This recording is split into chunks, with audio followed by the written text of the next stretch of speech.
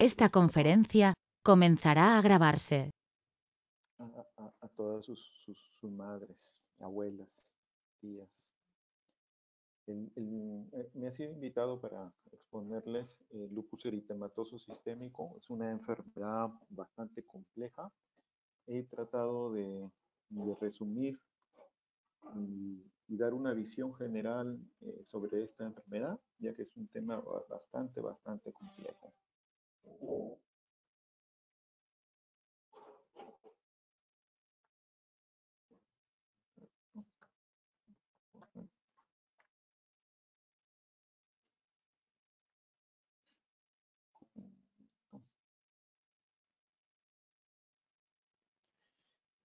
Como objetivos de esta charla he planteado tres grandes objetivos. Abordar los aspectos clínicos diagnósticos y laboratoriales de la enfermedad, para así tener una noción básica de cada uno de ellos, eh, conocer los principios del tratamiento, eh, que en términos generales para las complicaciones los esquemas son muy, muy parecidos y hay normas que debemos seguir en todos los pacientes. Y conocer las herramientas, una vez que tenemos ya hecho el diagnóstico y aplicamos un tratamiento, también es importante saber cómo lo vamos a, seguir, ¿no?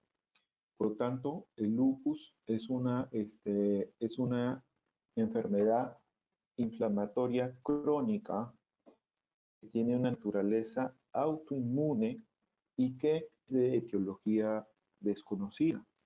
Por lo tanto, eh, ante esta enfermedad eh, se está planteando la posibilidad de, de, que sea un síndrome o que sean diferentes enfermedades con una manifestación en común, como ya vamos a ver más adelante.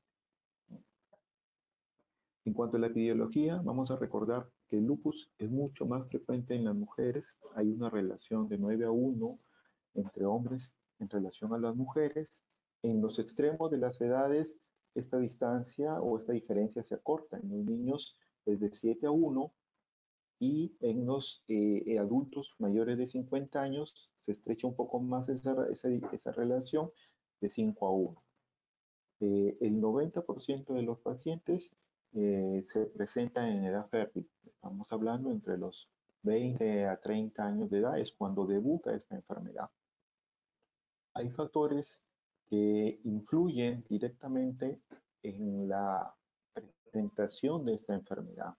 Y es bastante conocido que uno de ellos es la exposición a la luz ultravioleta, a la luz solar, sobre todo los UVB, porque se dice que esto genera cambios eh, en el ADN y eh, hay mayor tendencia a presentar células apoptóticas, así como también hay fármacos como la procainamida y la hidralacina que han sido identificados como generadores de una enfermedad muy similar al lupus, pero se han identificado hasta 100 fármacos diferentes, no llegándose a comprobar al 100% su eh, razón causal.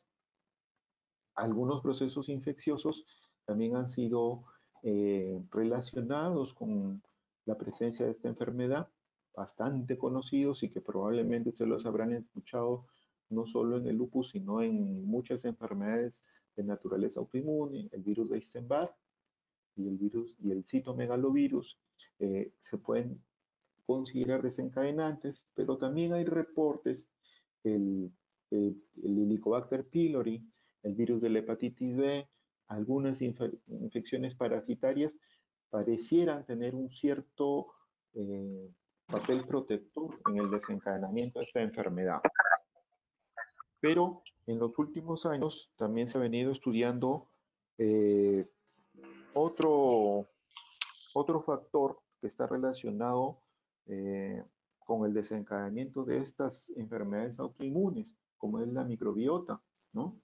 Sobre todo intestinal. Sabemos que cuando estamos intraútero, nuestro intestino es, eh, es y una vez que atravesamos el canal vaginal o eh, la cavidad abdominal en caso de nacer por cesárea, adquirimos cierta cantidad de bacterias y ese tipo de bacterias, ese patrón de bacterias puede marcar el futuro de si padecemos una u otra enfermedad. ¿no? Y se, ha determinado que hay una disminución de los bacteroides en relación con los firmicutes eh, en pacientes con lupus. ¿no? Incluso que esta se puede mantener cuando la enfermedad varía debemos tener presente que la, eh, prevalencia de lupus eh, es aproximadamente de 30 a 50 por 100.000 habitantes. Y la Asociación Latinoamericana, conocida como GLADEL, que se dedica a estudiar este, enfermedades eh, reumáticas, especialmente lupus, ha determinado que en Sudamérica es una relación muy parecida, entre el 28 al 50 pacientes por 100.000 habitantes. Hay una incidencia de 2 a 8 casos nuevos por 100.000 habitantes por año, ¿no? Eh, también hay eh, factores genéticos que van a influir en la presentación de esta enfermedad y así se han hecho estudios en gemelos. Los gemelos monocigotos tienen una concordancia del 68% a diferencia de los eh, gemelos disigotos, ¿no? que este, tienen una concordancia del 15%, ¿no? Entonces, eh, se ve la importancia de la genética, pero además esta no es al 100% eh, la que va a determinar la presencia o no de lupus, ¿no? Y hay una, un 19% de, de, probabilidad de este, padecer si tenemos un familiar de primer grado con lupus.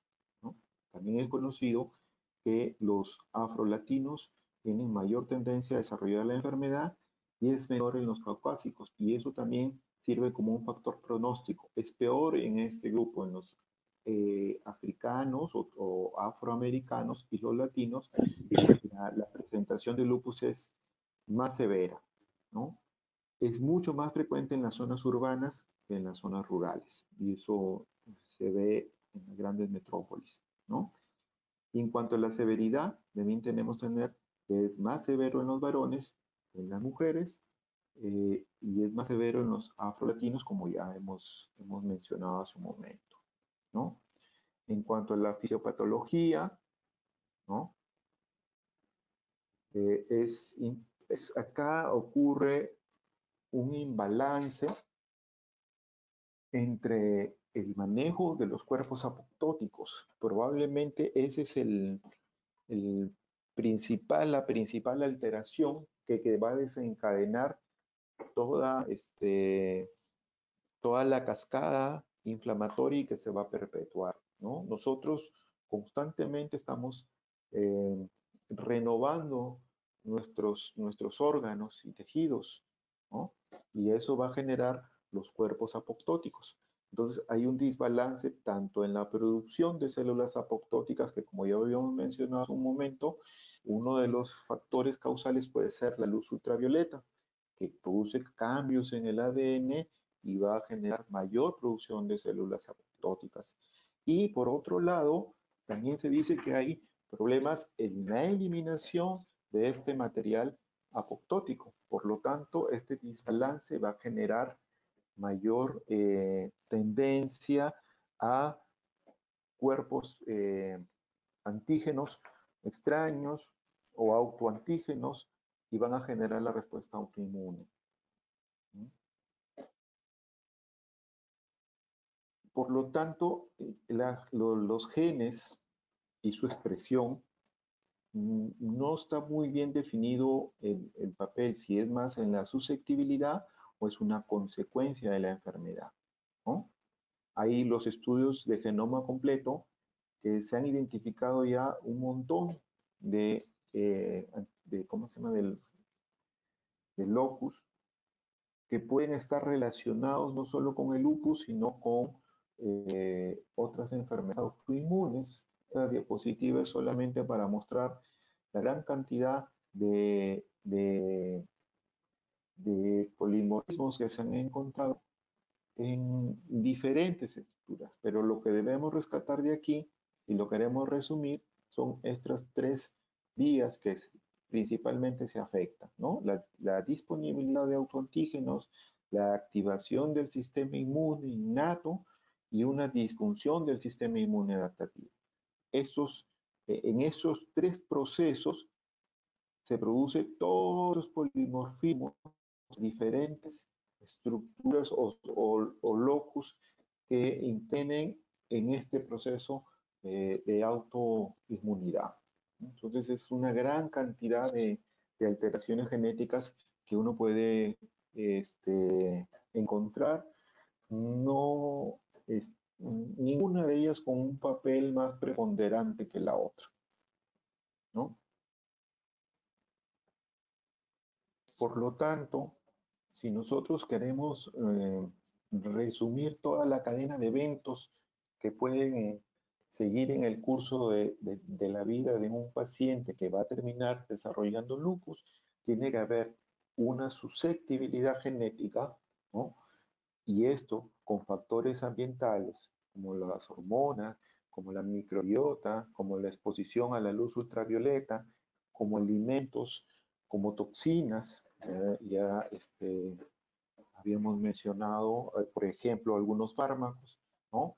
Van a unirse y conllevar a esa pérdida de la tolerancia que va a gatillar todo el amplio espectro de la inmunidad y esto va a producir ya una serie de sustancias químicas, llámese interleuquinas, que van a producir ya la sintomatología de este paciente, ¿no? Por lo tanto, el lupus se caracteriza por una pérdida de la tolerancia y hay una producción sostenida de autoanticuerpos desde que ya comienzan a formarse este, autoantígenos por esta exposición exagerada a los cuerpos apoptóticos. ese es el camino que uno sigue hacia la pérdida de tolerancia. Esto es para resumir la fisiopatología, ¿no? Vemos aquí los actores principales, tanto, actúa tanto la respuesta innata como la respuesta adaptativa, ¿no? La respuesta innata representada por los neutrófilos, estos son los cuerpos apoptóticos, ¿no? que generan miles y miles de cuerpos apoptóticos. Ahora se habla de la mitosis, que son unas, un enmayado que generan los neutrófilos para atrapar también este, antígenos extraños y así defendernos de ellos. Y estos eh, cuerpos apoptóticos son fagocitados y presentados a las, las células presentadoras de antígeno, eh, células dendríticas, y estos a, su vez van a activar a las células T, que van a favorecer ya el reclutamiento de otras células inflamatorias y van a producir daño a nivel del tejido, básicamente a través de sus interleucinas, pero también estas células T van a activar ya eh, a las células B. Y es ahí cuando ya se rompe la tolerancia, porque comienza la producción de autoanticuerpos. Entonces, todos estos estas células van a estar, van a generar básicamente estas sustancias, el interferón, el factor de necrosis tumoral, la interleucina 6, la interleucina 17, la interleucina 10 y el BAC, que es el factor activador de los linfocitos B. Y estos son muy importantes porque estos también están utilizando como eh, blancos terapéuticos. De ahí la importancia y la acción de cada uno de ellos para que ustedes puedan revisarlo con más detenimiento y, ver la importancia de estas sustancias y ver la importancia que implica en el tratamiento posteriormente. Ahora, al ser una, enfermedad tan heterogénea, tan variable, con diversas manifestaciones clínicas, el lupus puede dar cualquier cosa. Es una de las enfermedades que se le conoce como un simulador, otra es la tuberculosis, otra es la meningitis, ¿no? Entonces, este, eh, cae dentro de, ese, de, ese, de esa difícil eh, posibilidad diagnóstica que uno, uno, debe tenerlo, para nosotros diagnosticar una enfermedad, lo primero que tenemos es que pensar en esa enfermedad, si no, nunca la vamos a diagnosticar. Y si a eso le sumamos que hay una heterogeneidad serológica, mm, puede darnos distintas manifestaciones, puede darnos distintos hallazgos en las diferentes pruebas serológicas, puede haber un anticuerpo, pueden haber dos, pueden haber cinco, pueden haber diez anticuerpos positivos y eso crea eh, mucho más duda diagnóstica si estamos frente solamente a un lupus o a un síndrome de sobreposición o a un proceso infeccioso que está manifestando esa enfermedad. Entonces, eso lo hace mucho más difícil. No hay un cuadro clínico característico y no hay una prueba de laboratorio patognomónica. Por lo tanto, los expertos se reúnen a lo largo de los años para poder eh, proporcionar una guía que nos oriente, y estos son los famosos criterios diagnósticos. Estos son los, los criterios del 92, que tienen 11 criterios, de los 11 criterios que se deben cumplir por lo menos cuatro, y aquí no, este, eh, no le da peso a ninguno de los 11, todos los 11 tienen un peso por igual. Entonces, si un paciente tenía artritis, rasmalar, eh, serositis y fotosensibilidad, nosotros lo podríamos diagnosticar como lupus, como aquel que también tenía ANA positivo, como que tenía este compromiso renal, como que tenía serositis y, un RAS discoide, y ya lo diagnosticábamos como lupus, ¿no? Y eso ha ido cambiando en el tiempo, porque estos criterios, más que diagnósticos, son criterios clasificatorios. Esos tenían una este, alta especificidad y una baja sensibilidad, ¿no? Entonces, eh, a nosotros nos interesa cuando una prueba es que tenga mayor sensibilidad, ¿no? Porque diagnosticamos a los enfermos. Por lo tanto, el 2012 se reunieron para crear ahora sí unos criterios eh, eh, clasificatorios, criterios diagnósticos. Hacen un grupo de 17 criterios, de los cuales 11 son clínicos y 6 son laboratoriales. Entonces, eh, lo que han hecho es dividir algunos. Si nosotros comparamos con los del 92, por ejemplo, los desórdenes hematológicos, la anemia hemolítica, la leucopenia, la linfopenia y algunos desórdenes inmunológicos que los agrupan ahora, este, están considerados acá, ¿no? Acá, entonces la anemia hemolítica es un, un criterio aparte, porque hay pacientes que solamente presentan anemia hemolítica y ANA positivo, y este, o comienzan con leucopenia o linfopenia, la leucopenia sigue siendo menor de 4.000 y la linfopenia menos de 1.500, la trombocitopenia menos de 100.000, las manifestaciones cutáneas del lupus, el rasmalar, la fotosensibilidad, el lupus cutáneo crónico, el lupus discoide, el lupus tumidus, las úlceras orales, alopecia, y esto tiene que ser claro, es aquella que no deja cicatriz, la sinovitis, que tiene que ser más de dos articulaciones, y aquí me detengo para decirle que la sinovitis es sinónimo de artritis, y la artritis es igual a inflamación de la articulación. Si la articulación solamente duele y no está hinchada, entonces ahí hablamos de artralgia. Artralgia. Si a ese dolor le sumamos que la articulación está hinchada, entonces ahí hablamos de artritis. Eso hay que diferenciarlo porque a veces hay pacientes que llegan con dolores articulares, por ahí les piden un ANA, no tienen un diagnóstico claro, vamos a pedirle exámenes, sale el ANA positivo, ya, lupus. Y no es así muchas veces. La serositis, no solo la pleuritis, la pericarditis, sino una citis, también en este caso podría ser considerada, ¿no? Entonces, eso hay que, hay que tener los conceptos bastante claros para poder, el compromiso renal igual la proteinuria, ¿no? La cilindruria, la leucocituria, el compromiso neurológico, en estos criterios se consideraban los 19 síndromes que están reconocidos por la Academia eh, Americana de Reumatología y los criterios clínicos, donde para diagnosticar el lupus por lo menos tiene que haber un criterio clínico y tiene que haber un criterio radiológico, este serológico, perdón, ¿ya? Pero también aquí mencionaba del paciente que tiene nefritis lúpica, que es la nefritis lúpica, se hace una biopsia del riñón y hay un patrón característico por eh, este, patología, por inmunofluorescencia. Si es así y ese paciente tiene un ANA positivo, con esos dos criterios nos basta para diagnosticar lupus y empezar tratamiento. La idea de estos criterios es diagnosticar tempranamente al paciente para iniciar un tratamiento lo más rápido y tempranamente posible.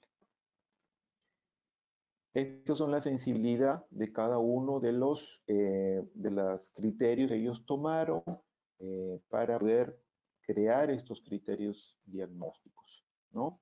Y en el año pasado, el año pasado, se reúnen nuevamente para dar unos nuevos criterios donde ahí sí dan como criterio sine qua non la presencia del ANA, ¿no? El ANA y que tiene que ser un ANA por inmunofluorescencia, que se haga en un cultivo de células HEC2. ¿Por qué es importante esto? Porque esto nos va a dar un patrón de presentación.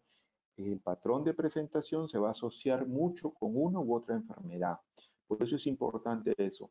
Acá en Piura hay laboratorios que hacen, por ejemplo, el ANA por método ELISA y que nos da valores numéricos. La mayoría es por encima de 100 puntos, ANA positivo, por debajo de 100 puntos, ANA negativo, y no hacen este tipo de examen.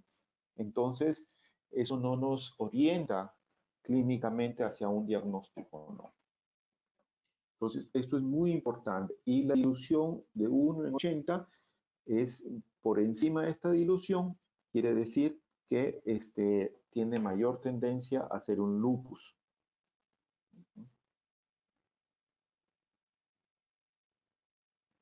y ya comienzan a utilizar otros criterios, ¿no? Eh, todos estos criterios no deben ser, eh, no deben tener una causa que explique esto. Estos criterios pueden ocurrir en forma simultánea, o sea, en el mismo momento que examinamos al paciente, o ser parte de la evolución de la enfermedad, tenerlo como antecedente en el, en el curso de todo el inicio de la, de la cadena sintomática. Y tenemos que valorar en cada ítem el que tiene mayor valor para sumar. ¿Cuánto se debe sumar? Por lo menos 10 puntos. Por encima de 10 puntos, este, tiene eh, ya el, el, criterio diagnóstico, ¿no? Este, este, estos criterios mejoran la sensibilidad son muy parecidos a los, a los criterios del LIC, la sensibilidad es muy parecida y, y mejoran en algo la especificidad también. Entonces, esto es un dato muy importante. La tendencia actual es estas tablas numéricas, los, lo vemos en los criterios de artritis reumatoide del 2010, donde ya da un puntaje a ciertas manifestaciones clínicas para así tener una mayor seguridad o probabilidad de estar ante un diagnóstico positivo y un diagnóstico temprano. ¿no?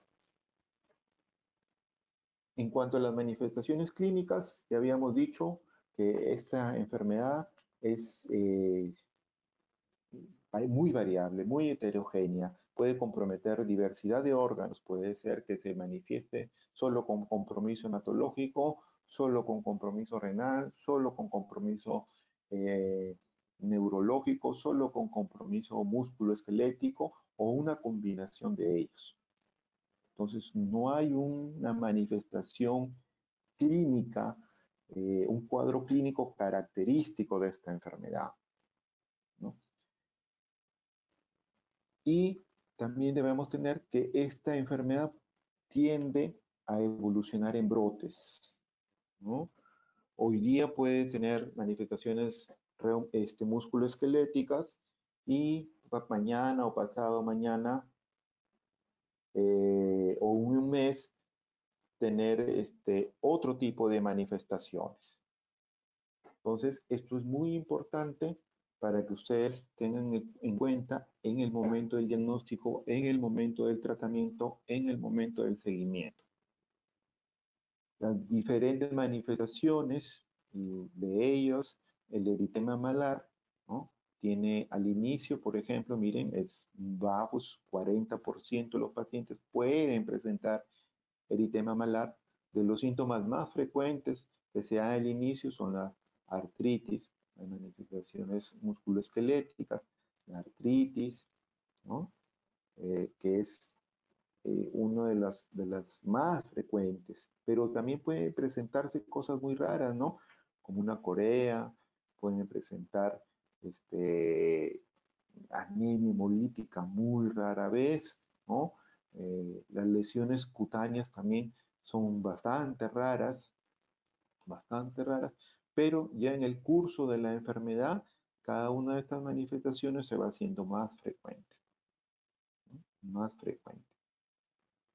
Un porcentaje importante puede debutar con fiebre, hasta un 36%, un tercio de los pacientes pueden debutar con fiebre. Probablemente por eso ahora, este, dentro de los nuevos criterios, se está considerando este, este, este signo. Aquí, por ejemplo, vemos una de las manifestaciones que es el rash malar. El rash malar que respeta los surcos nasogenianos, ¿no? En diferentes etapas, unos más característicos que otros, unos más característicos que otros, uno más fácil de identificar que otros, ¿no? Y estos son fotosensibles.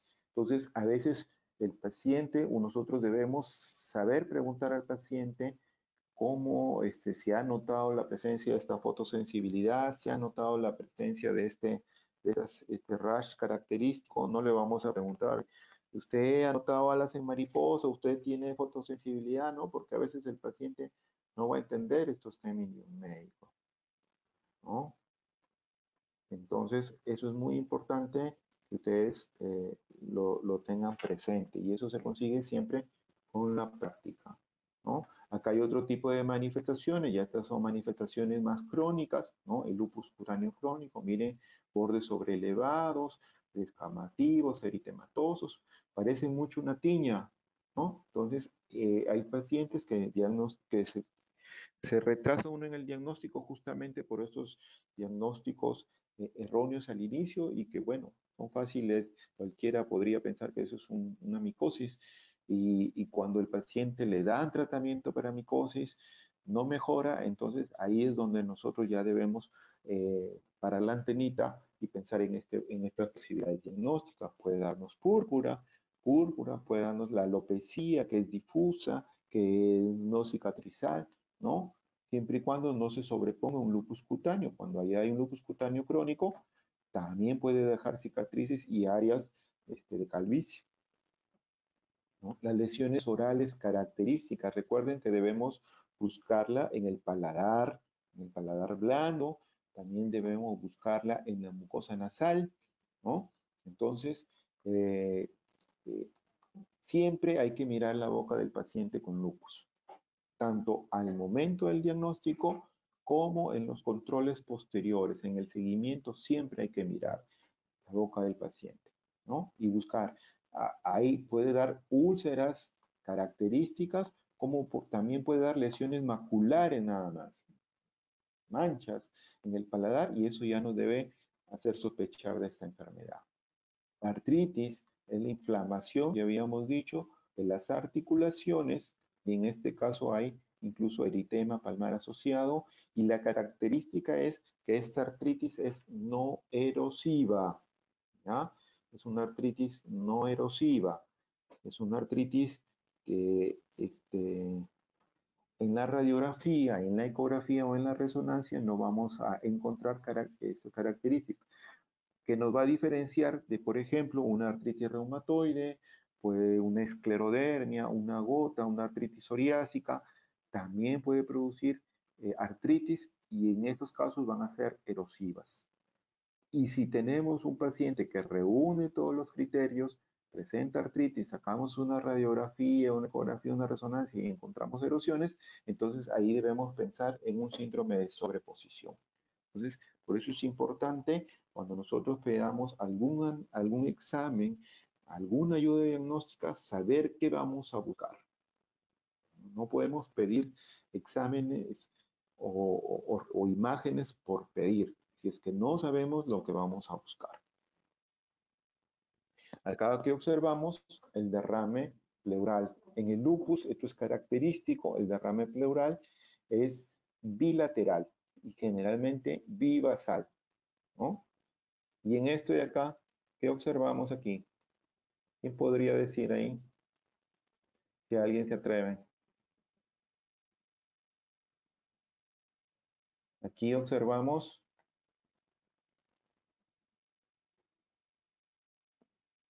Esta es una pericarditis. Ven el crecimiento del corazón, ¿no? Crecimiento del corazón y su correlación tomográfica está abajo, ¿no? Aquí vemos el derrame pleural bivasal, este es el corazón y vemos que no hay eh, una imagen eh, que rodea o envuelve el corazón, como sí se ve acá, una imagen que rodea al corazón el líquido y tiene la misma intensidad que el derrame pleural que también tiene este paciente. Entonces, es muy importante que ustedes, cuando, por ejemplo, el paciente puede venir con distrés o si es menor el derrame, puede ser que no tenga ningún síntoma y lo, lo, lo, lo, este, lo encontramos de casualidad.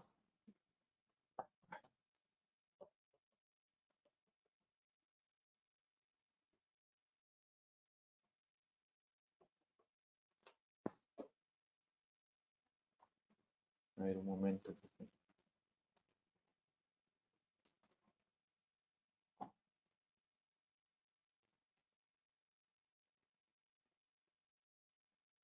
Colgó.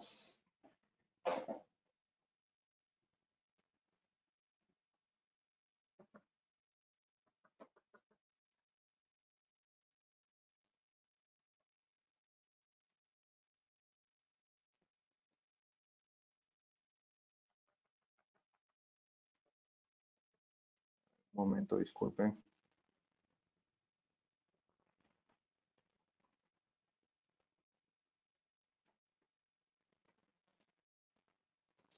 Ya, acá también podría darnos el lupus, por ejemplo, una pancreatitis, una imagen tomográfica. Esto es las, eh, los hallazgos histopatológicos en el riñón. Puede darnos una mononeuritis múltiple, puede darnos convulsiones, puede darnos psicosis, puede darnos cefalea, puede darnos meningitis aséptica, en fin, un montón de manifestaciones.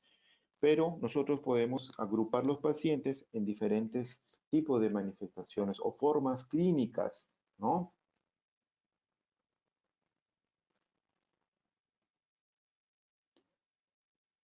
Entonces, hay formas leves para este, una forma leve que generalmente es sintomática, o sea que los síntomas son muy escasos, eh, puede ser monosintomática, puede ser, por ejemplo, que presente solamente anemia hemolítica y no tenga ninguna otra manifestación. Y esto puede presentarse durante varios años, ¿no? Por ejemplo, las complicaciones hematológicas tienden a ser así. La anemia hemolítica, la trombocitopenia, eh, tienden a ser monosintomáticas. ¿no? Y hay una persistencia evolutiva de la enfermedad que siempre va a estar latente. O sea, eh, el debug marca generalmente el curso de la enfermedad. Si un paciente tiene compromiso cutáneo músculo esquelético, probablemente el curso de su enfermedad va a ser caracterizado por eso. Si debuta con trombocitopenia, con anemia hemolítica o con compromiso renal, el curso de su enfermedad también va a estar marcado por eso. Pero eso no quita que pueda presentar alguna complicación en algún otro órgano o sistema. Por eso es importante el control constante y periódico de la enfermedad. Puede haber una forma más grave, ya que, comporta bastantes o algunas otras manifestaciones clínicas y con muchas veces con desenlace fatal. Por lo tanto, aquí hay que ser agresivos para controlar la enfermedad y para controlar el, curso de, esta, de, de, esta complicación. ¿no? Gracias a Dios no es tan frecuente este tipo de presentación. Mucho más frecuente son las formas intermedias. ¿no? Pueden tener manifestaciones que van a estar constantes por un buen periodo de tiempo, que no responden adecuadamente a veces al tratamiento y, por eso es importante eh, tomar las decisiones eh, a tiempo para poder evitar el daño permanente en este tipo de, de pacientes, que son los más frecuentes. Por eso es importante las herramientas de seguimiento que más adelante vamos a ver. Y hay subgrupos, ya habíamos dicho que el 90% debuta en edad fértil, ¿no? Pero hay presentación en la infancia, felizmente esto se desarrolla en menos del 10% de los pacientes, eh, generalmente es antes de los 14 años, es una forma de presentación de afección grave, generalmente los niños tienen peor pronóstico, ¿no? Y si a ese niño le sumamos que es varón, el pronóstico es más sombrío todavía, ¿no? debemos recordar que en, estos, en este grupo, en los niños, hay mucho más compromiso renal, hay mucho más compromiso neurológico y hay mucho más compromiso hematológico, llámese trombocitopenia anemia hemolítica. Entonces, estas cuatro manifestaciones tienen que ustedes eh, tener presente. Hay niños que comienzan a, a, presentar cambios en la personalidad, convulsiones o rasgos psicóticos y no hay otra cosa más que haya desencadenado eso, entonces debemos sospechar en un lupus. Y en este caso, por hacer todo el diagnóstico diferencial, incurrimos muchas veces en un retraso en el diagnóstico y por lo tanto un retraso en el tratamiento. Y aquí generalmente no debutan con las, con las características que habíamos visto lo más frecuente era artralgias, eh, eh, la, fiebre hasta un tercio de los pacientes, eh, las manifestaciones cutáneas también casi en un, tercio de, los pacientes. Acá este patrón típico de alas de mariposa, de alopecia, de úlceras orales, es mucho menos frecuente. El otro gran grupo es el de los mayores de 50 años, o el otro extremo era de los mayores de 50 años, también casi en menos del 10% de los pacientes, hay una mayor, menor incidencia de manifestaciones típicas, muy parecido a los niños, pero hay un mayor compromiso de eh, muscular, llámese miocitis o miopatías, y más manifestaciones secas, como un síndrome de Sjögren, ojo seco, boca, boca seca. Y es menor la frecuencia de hipocomplementemia, que es un marcador serológico, tanto de actividad como diagnóstico, y la elevación de los anticuerpos anti-DNA, ¿no? que no se elevan tan frecuentemente como en otros, que nos sirven para tomar medidas correctivas. Y el lupus en el hombre, ¿no? Este, ya habíamos dicho, la relación es de por cada nueve mujeres se afecta un hombre.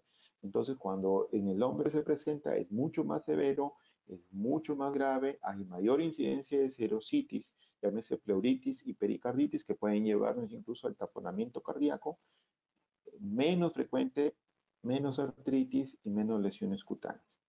En este caso puede haber un trastorno de las hormonas sexuales y que probablemente eso condiciona que se exprese el lupus en el, en el, varón.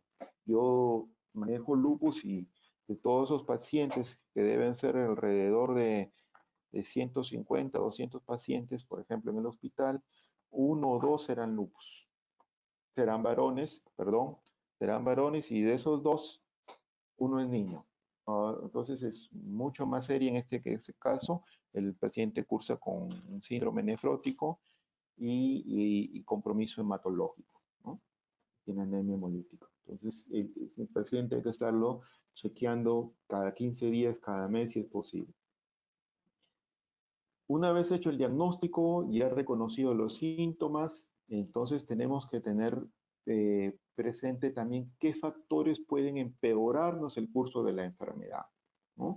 El estrés es un factor que juega mucho en desencadenar o activar, como le llamamos, eh, así, o el flash, si le quieren llamar, eh, que la enfermedad se nos pueda complicar. El embarazo también es un factor desencadenante del lupus y la paciente puede venir muy tranquila, estar estable, se embaraza y todo se nos descontrola. Algunos fármacos, ya habíamos dicho, que tienden a tender este, a producir lupus light o empeorarnos el lupus. Las infecciones, cualquier proceso infeccioso, desde un resfrío hasta una infección mucho más severa, puede hacernos activar la enfermedad o empeorar el curso de la enfermedad. Y la luz ultravioleta, la exposición al sol, también puede ser un factor no solo que desencadene la enfermedad, sino que también empeore el curso de la enfermedad o active la enfermedad. Y el laboratorio, cuando nosotros tenemos una, ya diagnosticamos, tenemos que hacer unas pruebas basales. Y como les dije hace un momento, nosotros debemos saber qué vamos a pedir. Para eso debemos pedir algunos exámenes básicos, como un hemograma, que eh, tenemos que buscar las manifestaciones hematológicas, la anemia, la linfopenia, la leucopenia, la trombocitopenia. Un examen de orina para buscar proteinuria, hematuria, para buscar cilindros celulares, cilindros hemáticos, cilindros dialinos, para estudiar la función renal, la urea y la creatinina, y ver si no hay variación en el tiempo. El complemento que nos va a servir de utilidad para el diagnóstico, sobre todo el C3 y el C4, el BDRL o, RPR, que si nos da positivo, esto nos puede indicar la presencia de anticuerpos anticardiolipina y eso asociar una enfermedad más que se llama el síndrome antifosfolipídico y el manejo va a ser diferente en ese tipo de pacientes. Y los famosos anticuerpos antinucleares, se dice que no hay lupus sin ANA, ¿no? Un ANA negativo eh, aleja mucho la posibilidad de un lupus, ¿no? Y este, están más o menos en el 95%, en el 95% de los pacientes y hay un anticuerpo que es muy específico del lupus, que es el anti-SMIC, el anti-SM, y es, se puede considerar casi patognomónico del lupus. Lo malo que se presenta solamente en el 10 al 30% de los pacientes. Estos son los patrones de los que hablaba hace un momento. Estos son por la inmunofluorescencia y por las células G, ¿no? el cultivo de células G, y nos va a dar diferentes patrones el ANA, un patrón homogéneo, un patrón periférico, ven como el, como el citoplasma queda este, más oscuro, un patrón nucleolar, es dentro del núcleo, los núcleos están teñidos acá, un patrón sintomérico cuando se divide la célula va a dar este tipo de patrón, un patrón moteado fino porque es como puntos que se dan en toda la tinción, un patrón moteado grueso muy parecido al, a los anteriores, varía el patrón este y el patrón mitótico. Entonces, el patrón que más se relaciona con loop es el patrón homogéneo. El patrón periférico también, pero en menor escala. Entonces, si nosotros tenemos un paciente con ANA positivo, patrón homogéneo, podemos estar casi seguros de que se trata de un lupus. El patrón centromérico es un patrón especial eh, que se relaciona casi, casi exclusivamente con esclerodermia. Y el resto de patrones, el patrón moteado, fino, grueso, pleomórfico, esto se relaciona con otras enfermedades eh, reumatológicas. Por ejemplo, la artritis reumatoide nos puede dar un ANA positivo, pero el patrón de presentación de ese, de ese, de, del, de la artritis va a ser probablemente un moteado, ¿no? Un moteado fino. Entonces, de ahí radica la importancia de tener esto, ¿no? De tener esto, estos, estos patrones. Un patrón, eh, un síndrome de Sjögren también nos va a dar un ANA positivo y probablemente también nos va a salir un patrón moteado. Entonces, es, ahí radica la importancia de esto. Y también los laboratorios nos sirven para hacer el seguimiento de los pacientes, ¿no? Si el paciente tiene compromiso hematológico, va a ser lógico que nosotros monitoricemos la evolución y la respuesta al tratamiento con este tipo de, de análisis. Algunas elevaciones en el curso de la enfermedad, el ANA, por ejemplo, el ANA es diagnóstico, o sea, deberíamos solamente pedirlo cuando queremos diagnosticar la enfermedad pero el ANA no sirve para seguimiento. Entonces, no podemos estarle repitiendo anualmente un ANA a todos los pacientes con lupus. No, lo que nos sirve para seguimiento son un hemograma, donde vamos a encontrar ya sea anemia grave, trombocitopenia, leucopenia, Y los anti-DNA también nos, nos, sirven porque si tienden a elevarse en relación al control anterior, puede eh, hacernos sospechar de que estamos camino a un compromiso renal. Y también se ha relacionado con disminución de la sobrevida en aquellos que mantienen valores elevados. Los antifosfolipídicos también se relacionan con daño a nivel del sistema nervioso central y también pueden darnos compromiso renal. Los anti-RNP también se asocian cuando encontramos positivos estos o se tienden a elevar compromiso renal. Igual que el anti-RO, eh, que es compromiso de piel, pero con casi nulo compromiso renal. El complemento también es un marcador de actividad y nos puede este, está relacionado tanto con enfermedad renal, con lupus neuropsiquiátrico, ¿no? Y una proteinuria que menor de 800 en el último año se mantiene por debajo de esos valores, quiere decir que este paciente tiene un mejor pronóstico a largo plazo. Ya, ya tuvimos el diagnóstico, ya tenemos este, el, el seguimiento los análisis, un estado basal del paciente y de acuerdo a la manifestación clínica nosotros debemos plantearnos un tratamiento. El objetivo va a ser, o este tratamiento se va a dividir en tres fases o va a tener tres objetivos. Inducir a la remisión quiere decir controlar la enfermedad, la terapia de mantenimiento, mantener controlada la enfermedad a lo largo del, del tiempo y tratar las comorbilidades que se presenten, ya sea por el mismo tratamiento o por la misma enfermedad. Entonces, estos, estos tres objetivos no deben eh, eh, olvidarse durante todo el tratamiento. Ya, este, se ha propuesto una guía de tratamiento donde califica la enfermedad como una enfermedad leve, como una enfermedad moderada y como una enfermedad severa. ¿no? Eh, las enfermedades leves generalmente se manifiestan por compromiso músculo-esquelético, como fatiga, rasmalar, alopecia, mialgias. En este caso podemos tratarlos con antiinflamatorios, ¿no? ya sea los convencionales, los clásicos o inhibidores de la, de la COX-2. También podemos utilizar corticoides a dosis baja, ya sea orales o intraarticulares. ¿no? En la enfermedad moderada ya hablan de, estos marcadores de de, evaluación de actividad, el SLEDA y el, el BILAC, ¿no? Donde se caracteriza generalmente por fiebre, por rash, ya ahí puede haber presencia de vasculitis, puede haber presencia de compromiso renal, puede haber compromiso de serositis, puede haber compromiso hematológico.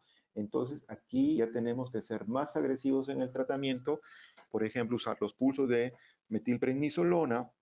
Ya debemos asociar algunos otros inmunosupresores como metropexate o azatioprina para su mantenimiento a las dosis que están indicadas ahí, o en casos ya mucho más severos, cuando el SLEDAI es mayor de 12, eh, también con compromisos muy parecidos en grado más severo al, lupus moderado, entonces debemos utilizar los pulsos de metilprednisolona probablemente a dosis más altas, o combinaciones o asociaciones de azatioprina, micopenolato o los pulsos de ciclofosfamida.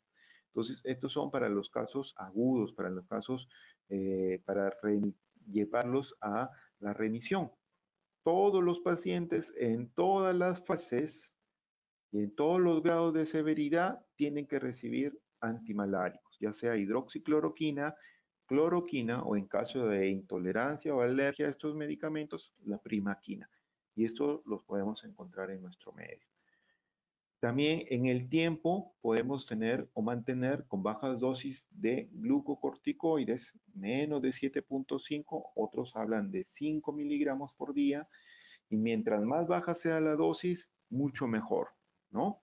Y en etapas más severas, no solo mantener la hidroxicloroquina, los corticoides, sino también los inmunosupresores. Si hay refractariedad a este tipo de tratamientos, con estas dos eh, bases, tenemos que ya este, pasar a otro tipo de tratamiento. Por ejemplo, el belimumab y el rituximab, que, que ya son anticuerpos monoclonales. Uno contra el BAF, que lo mencionamos al inicio, el factor estimulante de las células B, y el rituximab, que es un anti-CD20, que depleta las células B. Si no hay células B, no va a haber formación de este, anticuerpos o inmuno, y estos anticuerpos no van a formar inmunocomplejos, por lo tanto se va a detener el daño, ¿no? Y esto se puede aplicar cada seis meses o cada un año. Y la nefritis lúpica se, se, menciona como un ítem aparte, pero el tratamiento es muy parecido a lo que hemos mencionado hace un momento, ¿no? Las clases no son grados, no es que de la clase 1 pase a la clase 3, ni de la 3 pase a la 5, ni de la 5 a la 6, son estadios independientes, ¿no? La más frecuente es la clase 3 a clase 4, probablemente porque es la que más estudia, es la que más manifestaciones da, pero la clase 1 o la clase 2 generalmente eh, no requieren tratamiento, solamente hidroxicloroquina. ¿no? La clase 3, y así si, si hay un compromiso renal serio, si hay proteinuria por encima de, de, medio gramo en 24 horas, entonces tenemos que aplicar la terapia de inducción que habíamos mencionado. Los glucocorticoides más ciclofosfamida, los, como impulsos o viral, ¿no? O micofenolato, que también se usa en algunos sitios como, este, como terapia de inducción. Pero aquí tienen que tener muy bien en cuenta la dosis del, del, del porque es un medicamento vía oral, ¿no? La terapia de mantenimiento también este, en estos casos es muy importante corticoides a bajas dosis, micofenolato o azatioprina. Entonces, estos medicamentos son los que podemos utilizar como terapia a largo plazo. La clase 5 es una clase en particular porque se, caracteriza principalmente por proteinurias en rangos nefróticos. Es la clase 5 en la membranosa. Esa no hay un tratamiento que se haya demostrado ser efectivo, a diferencia de la clase 3 o 4. Y aquí hay que agregar antiproteinúricos, ¿no? Como por ejemplo los ARA2, ¿ya? O los convertidos, los inhibidores de la enzima convertidora de angiotensina. También podemos utilizar mico, eh, ácido micofenólico, pero una alternativa que, que, responde bastante bien son los inhibidores de la calcineurina, como la ciclosporina o el tacrolimus. Y esos también pueden servir como terapia de mantenimiento. Y la clase 6 ya prácticamente es la enfermedad renal crónica terminal. Muchos de estos o terminan en diálisis o lo ideal es el trasplante renal. ¿no? Eh, estas son las manifestaciones extraglomerulares que también requieren un tratamiento y que también no hay que descuidarnos de eso. Algunas dosis de los medicamentos y las indicaciones para las que nosotros debemos utilizarlas, así como sus efectos secundarios. Todo esto debemos conocer cuando recetamos un medicamento, la dosis, la indicación y sobre todo los efectos secundarios para nosotros poder advertirles a los pacientes cuáles son los signos o síntomas que pueden presentarse eh, a raíz de este tratamiento. ¿no? Y que también nosotros tenemos que tener muy presente, por, por ejemplo, si damos rituximab, también puede producir citopenias y aquí tendríamos que tener, eh, llegar a demostrar que esa citopenia eh, puede ser ocasionada por el lupus o puede ser ocasionada por el medicamento. Igual metrotexate también puede producir leucopenia, linfopenia y eso también son manifestaciones del mismo lupus. Entonces es muy importante poder diferenciar eso y es todo un trabajo metódico que hay que hacer, hay que aprovechar la especialidad, por ejemplo, o de otras especialidades como hematología, o si hay compromiso neurológico del neurólogo, que nos ayuden a diferenciar eh, tal o cual manifestación. ¿no? Entonces, si tendríamos que resumir un plan terapéutico de lupus, lo primero es eh, combatir el factor desencadenante que es la luz ultravioleta con bloqueador soleado. Una buena alimentación, ¿ya? Si estamos frente a un lupus leve a moderado, ya habíamos dicho, analgésicos o corticoides y siempre su hidroxicloroquina. Y si esos no llegan a funcionar, podemos adicionar metrotexate para el mantenimiento. Si estamos frente a un lupus ya más severo, grave, que pueda comprometer la vida o pueda comprometer la función de un órgano si no lo tratamos rápidamente, los pulsos de metilprednisolona, la ciclofosfamida y como mantenimiento micofenolar o azatioprina. y dependiendo si estamos frente a una nefritis lúpica, podríamos utilizar ciclosporina, tacrolinos. ¿no? Una vez que hay respuesta, tenemos que en estas este, etapas de, de, inducción tenemos que usar la dosis más alta posible y en la medida en que esto va respondiendo, comenzar a bajar la dosis de los inmunosupresores, de los corticoides y los antiinflamatorios. ¿ya? Ya casos más extremos que no respondan, podemos usar plasmaféresis, podemos usar inmunoglobulina o algunas terapias biológicas, como ya hemos visto, el belimumab y el rituximab. ¿no? Una vez ya iniciado, controlado, también tenemos que nosotros hacer el seguimiento del paciente. Para evitar el daño crónico y si se presenta una reactivación de la enfermedad, tomar los cambios necesarios para eso. ¿Y cómo lo hacemos?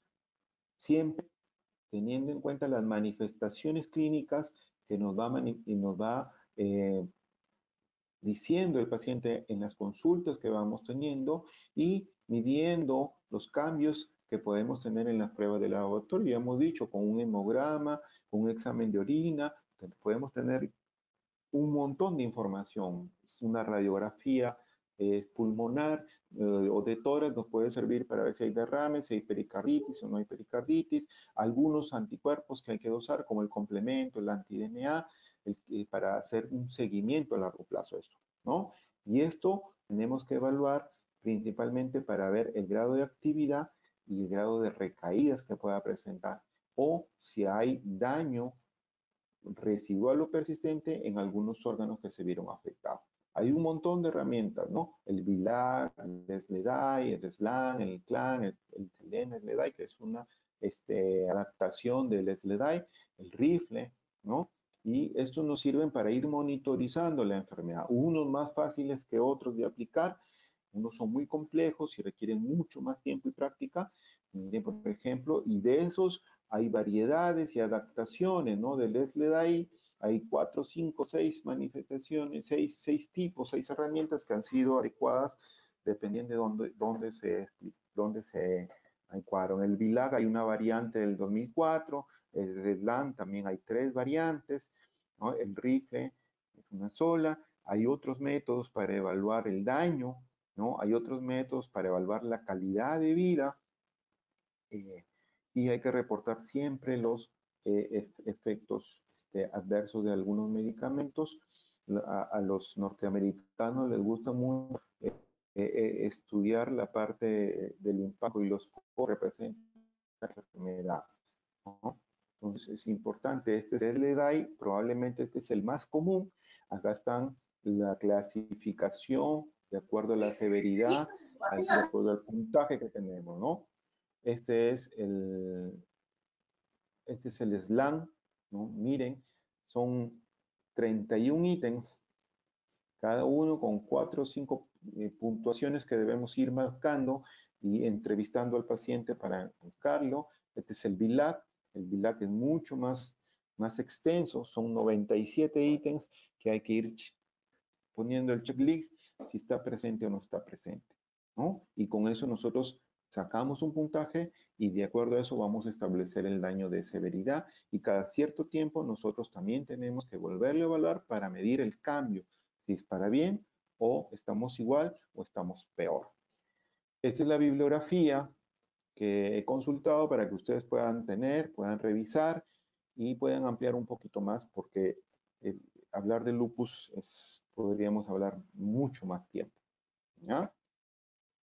Entonces, no me queda más que decirles que la mejor forma de predecir el futuro es crearlo.